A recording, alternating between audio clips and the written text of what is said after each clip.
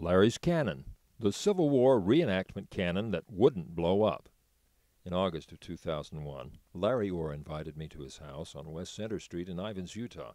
That's when it was on the very outskirts of town, to take pictures of he and his Civil War reenactment cannon. He looked sharp in his uniform and with the cannon and flag. He and his brother had been doing war reenactments and shoots for a number of years for schools, scouts, at this is the place, Memorial Village, celebrations and the like. At the schools, the cannons would be loaded with flour and make quite a show, but shoot nothing. On Friday, June, June 19, 2009, the dog woke me as Larry came to invite me to come with camera or video camera to Three Mile to see the shooting of his cannon for the Scouts. The following day, the 20th, I drove away from my house at 8:31 and arrived at the gravel pit at Three Mile nine minutes later for Larry's cannon firing. The cannon, an 1861 mountain howitzer replica, like the Southern states used during the Civil War. Larry and his cannon were there, of course, and a friend of his with a wife and daughter, Mark Potter and two boys, Bruce Gubler and a son, Kirk Best, Bob Best, Don Best, and Tim Best were there. Most of the best had been in the Ar- Army Artillery and the National Guard. I took photos. Used in F 11 exposure. Later, on the second roll of film, I went to F 22 when the sun came out from behind the clouds. I provided the paper for the packing and part of a can of black powder for the charges that provided three charges. The powder was put into Ziploc baggies, one per firing, with lead balls made of lead filled aluminum cans. There were two misfires, many good fires. The firing was a noisy affair. Then the cannon was loaded back into the trailer, and that was the end of the event. The next firing was set for Saturday, July 4th, 2009. We'd start Independence Day off with a bang. This time I left at 8:10 for my short drive to 3 Mile. Scott McDonald was the cannoneer for the day. Three men helped him, and Larry Orr supervised.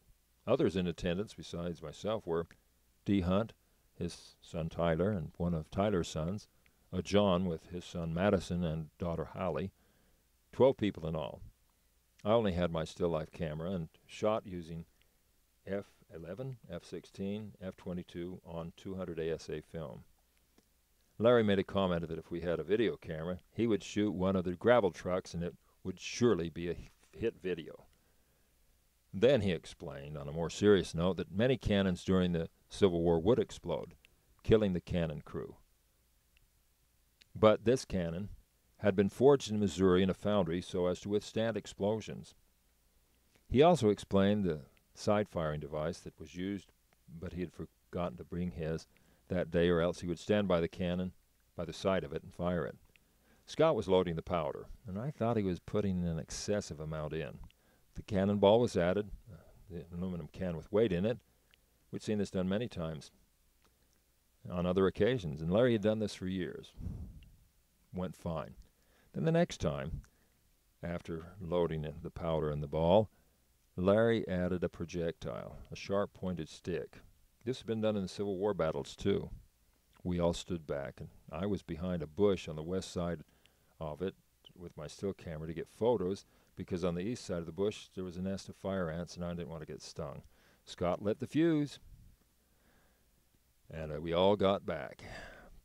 Bam!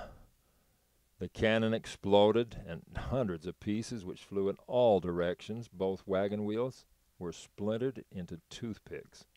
One of the splinters hit my pant leg.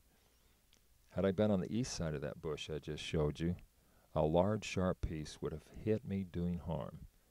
D. Hunt was sitting in a folding chair by the side of the road under a chaparral bush, near his son Tyler's van.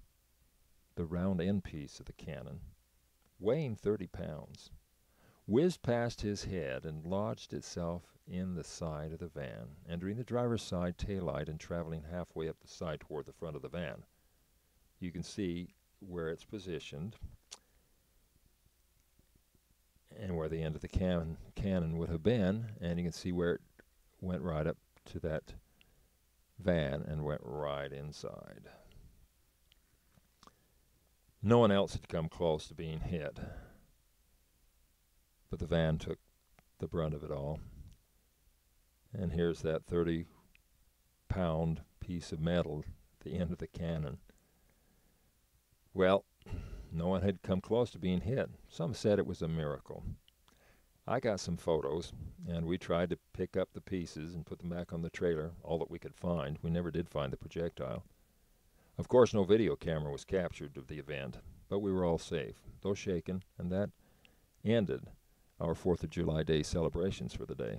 Larry bemoaned the fact that the video camera wasn't on hand, but had one been there, I feel certain that someone would have been hurt because of where the video cameraman would have been to film it. In my blog later that day, I wrote, This AM I was a small cannon firing. On the third shot, the cannon blew up. Incredibly, no one was hurt, as metal and wood splinters flew in all directions. Tyler Hunt's car stopped the back of the cannon. Well, our guardian angels kept us all safe. It wasn't our time to die. And aren't we blessed that we don't have wars raging here at home? Even today, several years later, a man asked me after church, blowing up any more cannons? No, I was just a bystander to the cannon that wouldn't blow up.